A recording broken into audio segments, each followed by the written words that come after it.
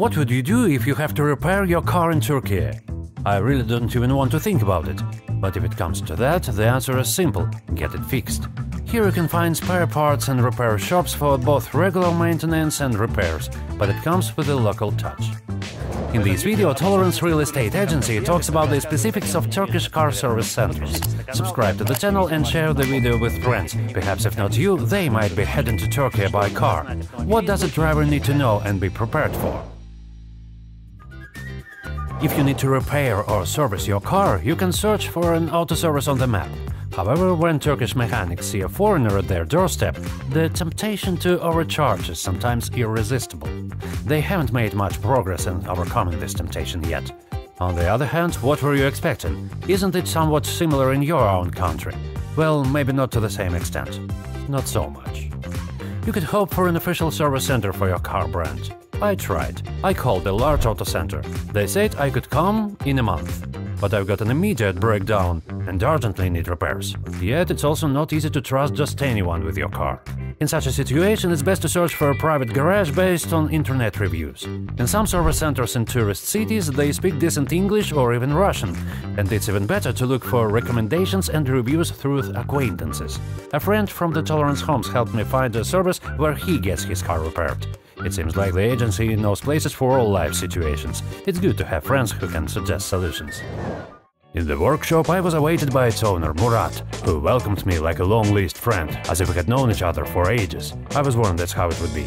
Of course, despite the warm welcome, I was a bit nervous, because you never know who and how works there.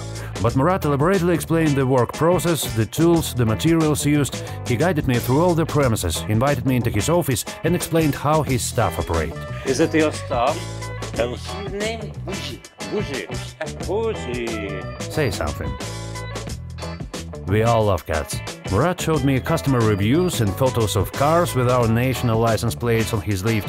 The equipment seemed to be fine. Of course, I aim to establish good relations. In Turkey, they sort everything out.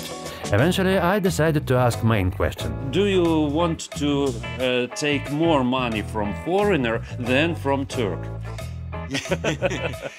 Now the economy very important in Turkey because very very uh, expensive.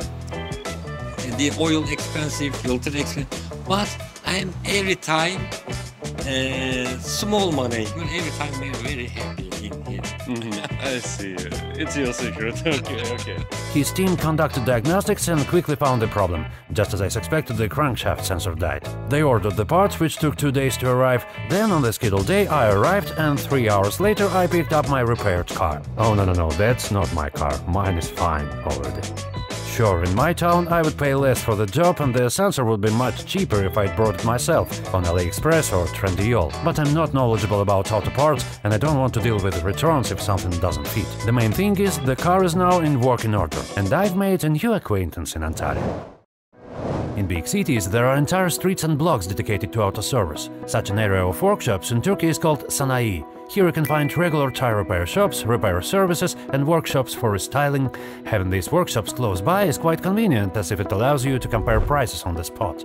The prices for repair work and servicing are on average around half of what you'd find in other European countries, and they are offered cheaper parts, especially if they are used or aftermarket rather than original. For instance, replacing a set of tires with alignment might cost approximately $40-50. I had 18-inch tires replaced with balancing but without alignment for 500 lira, it's less than $20. Replacing a timing belt, including the cost of the belt itself and rollers, might range 70 or $100. The price of course greatly depends on the car brand, but remember about those temptations, right? Ah, it's time for a service appointment soon. As for estimating the cost of repairs after an accident, I can't say. I don't even want to think about accidents, definitely not in this video. But we've created a guide through this link on what to do and how to behave if, God forbid, you've involved in a car accident in Turkey. It's definitely worth watching. I hope in this video you found the answers that will help save time, nerves and money when you plan to travel to Turkey by car. For even more answers, we have comprehensive videos specifically designed for foreigners driving in this country. You can find the link on the screen and in the description.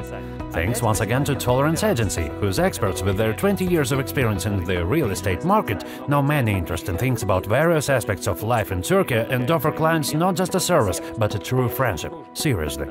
Please hit the like button and subscribe to the channel to not miss out on new videos. We cover and discuss things that others may not know or talk about.